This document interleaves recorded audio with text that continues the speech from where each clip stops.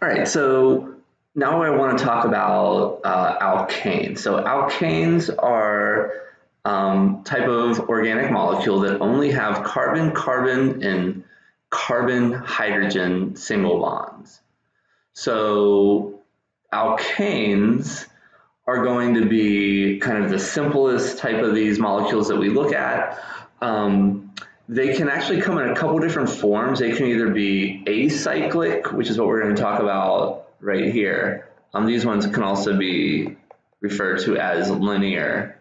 So linear in that they don't have a ring structure, or a cyclic structure would be kind of like a ring. And if you remember a previous um, lecture, I kind of talked about how that could be called an organic structure. We'd call that cyclobutane, where that cyclo means it's a ring form.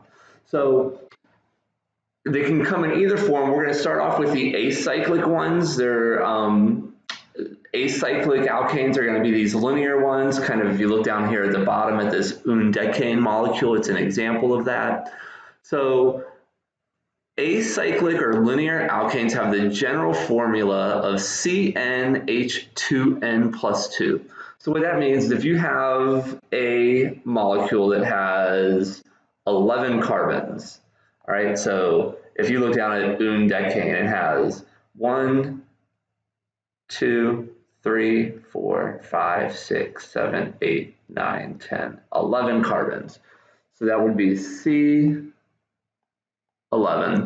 how many hydrogens are there, or we could go through and count them individually, but since we know it's an acyclic alkane, we can also say it's going to be 2n plus 2, which would be H24. So you double it, and then you add two extras. And the reason you add the two extras, again, looking down here at this, um, at this structure, so remember all of the black spheres are carbons, and the little white or gray spheres are hydrogens.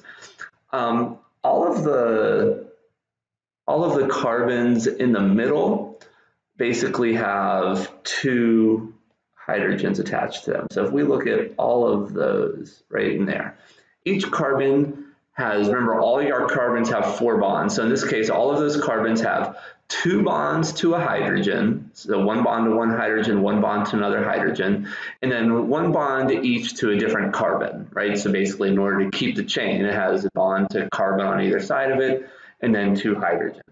So that's why for every carbon, there's basically going to be two hydrogens. Then we have the plus two, right? The 2n plus 2 there.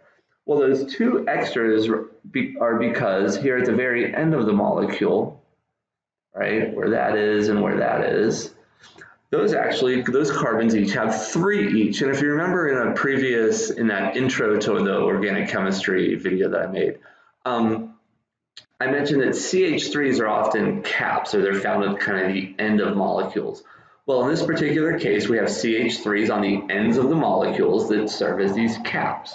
So you have a CH3 on one side, you have a CH3 on the other side, and these are the caps. So instead of those ones being 2N, each one has one extra hydrogen, so we get the 2N plus 2 because we have one extra there, one extra there, so that's going to be the extra plus 2. So again, the main thing to keep in mind is that on the ends of these molecules, you have these CH3 groups. Those are the caps, and that's where these extra hydrogens Okay, so another term that is shown on this slide is this um, saturated alkane. So it says acyclic alkanes are called saturated alkanes. Um, let me go ahead and erase some of my drawing here. Um, so if you go back and kind of look at this structure again, you, will notice that every single carbon is kind of packed with hydrogens. And if you remember again, carbons can only have four bonds total. So if you were to pick a random carbon, let's look at that one right there. We can't put an extra hydrogen on that carbon anywhere because it would have too many bonds, right? So saturated alkanes, basically there's no way to get any more hydrogens on there, so we call them saturated. So whenever you have this formula of CnH2n plus 2, those are going to be saturated alkanes. Okay, so going through and talking about the alkanes, we're basically going to keep a list and we're going to talk about alkanes from one carbon up to 10. And I just want to basically you need to go through and memorize the names of all of them. Um, and as I go through and talk about them, I just want to give a little bit of details on each of them. So the simplest alkane is going to be methane, one carbon long, CH4. Um, looking at this 3D representation, just a reminder that this wedged line right there, that means that that hydrogen's coming out towards you, like out of the plane of the screen towards you. This dashed line in the back means that that hydrogen's going away from you. If you look at the ball and stick model, that reminds you of the bond angles and the fact that it has a tetrahedral um, geometry, right? So these are things that we've talked about before that you do still need to know, right? Tetrahedral. So again, most carbons are going to have tetrahedral geometry, particularly if they don't have any double bonds, all right? Um, ethane is a two carbon alkane, so now we're growing to one larger. So over here, this is going to be the complete structure. This is the complete structure. This one over here you would refer to as the condensed structure. So remember, condensed is whenever you take those um, the lines out. All right, so that would be ethane in both a complete and a condensed structure. And you can see the other representations below. Um, propane is a three carbon alkane. So again, you have the condensed structure and a complete structure. And we can even add another one here. We could draw the skeletal structure. Remember, the skeletal structure says that um, it says that on the end of your carbon, so whenever a line ends, like right there, you have a carbon with as many hydrogens to give it four bonds. So that would refer to that carbon and the three hydrogens around it. This one would be your CH2 that's in the middle. And then this one would be that CH3 that's over there, right? So again, just kind of a reminder on drawing these structures and the difference between a condensed, a complete, and a skeletal structure. Um, so propane brings up an interesting uh, topic here, and it's something that often confuses people, and that is that you can draw these things in different ways. So if you look at the um, structure on the left, all the carbons are in a row. So here it's, you know, you have a carbon, then a carbon, then a carbon. They're all lined up nice and neat. It's a CH3, a CH2, then another CH3. Um, and it says here that this is equal to, in other words, there's no difference between the structure on the left and the one on the right. And if we look at the one on the right, I'm going to kind of circle these. So that's a CH3, just like that's a CH3. And then you have a CH2, which is exactly like this CH2. And then you have another CH3 down here, which is exactly like that CH3. So the important thing here is that the bends in the carbon chain don't matter when it comes to identifying the compounds. Both of these are propane. Um, they're both the exact same thing. What happens is these bonds are flexible and can move. So these carbons are always twisting around in that, with that tetrahedral geometry.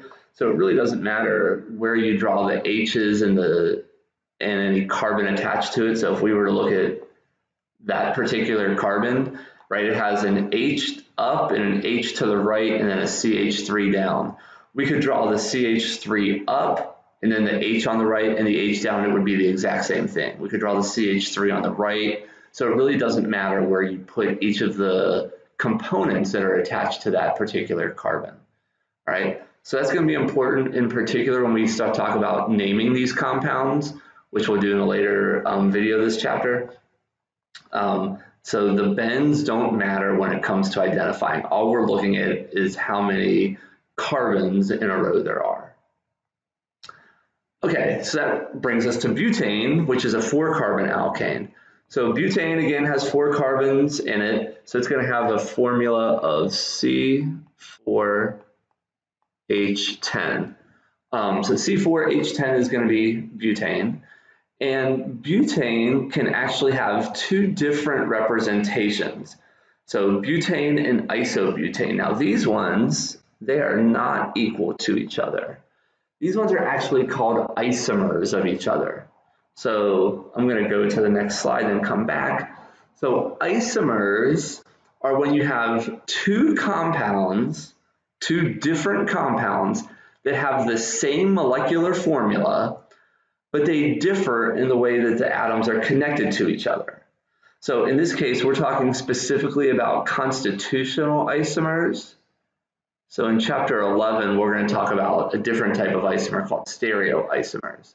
But in this particular case, we're talking about constitutional isomers, which means that the atoms are connected to each other in a different way. So again, same chemical formula, right? In the case of butane and isobutane, they're both C4H10, but they're connected in a different way. And what I want to do is I actually want to go down to this example of constitutional isomers that's shown here with ethanol and the dimethyl ether. So both of these are going to be C2 H6O. So if you go through and count, both of them have two carbons, uh, six hydrogens, and one oxygen. But if you look at them, you can tell that they're very clearly different. Ethanol has a CH3, then a CH2, and then an OH. This one has a CH3, and then kind of an O, and then another CH3. So it's obvious that they are connected differently. Ethanol has an O that's bound to an H, dimethyl ether does not, right? So this is an example of what we mean by isomers, and in particular constitutional isomers. Same formula, different way the atoms are connected. So now if we go back to butane and isobutane, doing the same thing I've been doing, I have a CH3 a CH2, a CH2, and a CH3. If I come over here, I have a CH3, and then I have a CH. I don't have a CH2 like I did with butane, I just have a CH, and then I have a CH3 over here, and I have a CH3 up there. So notice I'm specifically looking for the carbons and what the, they're attached to. In other words, my first carbon on the left, it's a carbon, what's it, what is attached to? three hydrogens, and then it's attached to a CH2 for butane, and then for isobutane, that other thing that's attached to is a CH, all right? And then we put the C's together with the H's, but we don't include the other carbons that are attached to them. So in other words, for isobutane over here, we don't say that you have a CH3 attached to a CH CH3 or anything like that.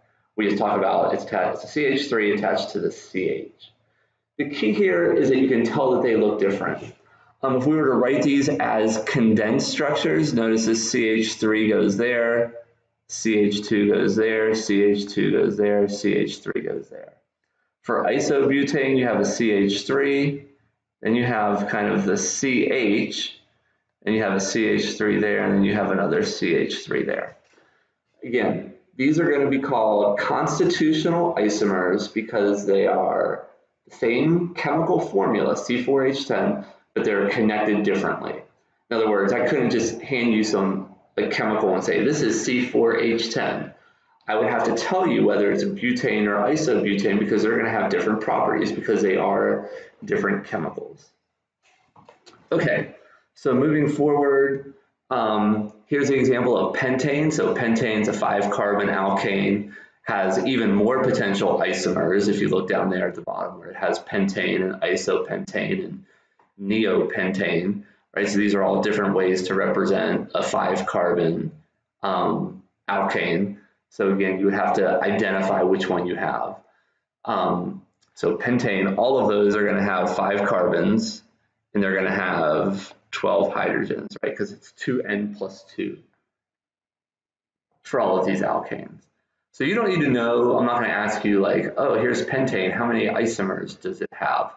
I just want you to be able to say, if I show you, say, this structure, and I show you this structure, you should be able to tell me those are isomers of each other. How would you know that? Well, you look at their, count up how many carbons you have, count up how many hydrogens you have, both of them are, you're going to have C5H12, and then you say, well, are they connected differently? Well, yes, they are, right? One has CH3, then three CH2s and another CH3, whereas neopentane has four different CH3 groups attached to another carbon, so they're connected differently.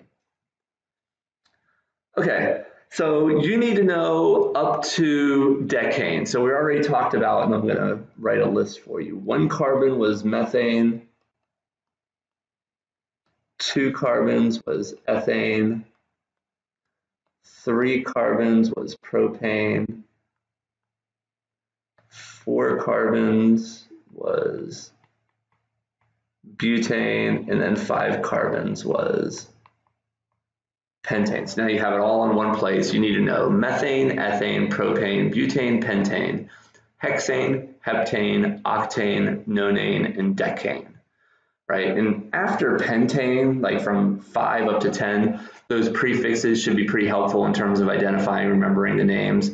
I personally think the first four are the more difficult ones. Those are the ones you're going to see more often just because they're shorter. Um, so that's really what you need to know in terms of alkanes. And in the next video, we'll talk about how we're going to use um, these names in terms of naming a complete, uh, a complete molecule.